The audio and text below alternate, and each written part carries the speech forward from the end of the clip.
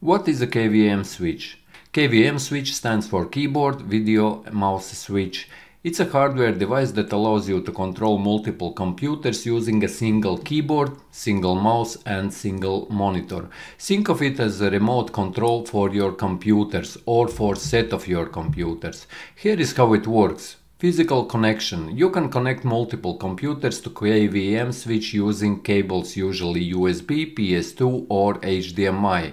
Then you connect a single keyboard, single mouse and monitor to the KVM switch. And to switch between computers you simply press a button or combination of keys on the KVM switch and the keyboard and the mouse and the monitor inputs are redirected to the selected computers. Here are some examples. For example, with multiple workstations, if you have multiple computers on a single desk, a KVM switch can help you manage them all with a single set of peripherals. We are talking about keyboard, video and mouse. Another example is server rooms, where KVM switches are commonly used in server rooms to allow administrator to control multiple servers from a single location. Another example is home labs. If you have a home lab with multiple computers, a KVM switch can make it easier to manage and control them from one set of keyboard, monitor and mouse. And here are the main benefits of using KVM switch Firstly, it reduces the clutter, you can eliminate the need for multiple keyboards, mice and monitors. Secondly, it increases efficiency as switching between computers becomes much faster and easier.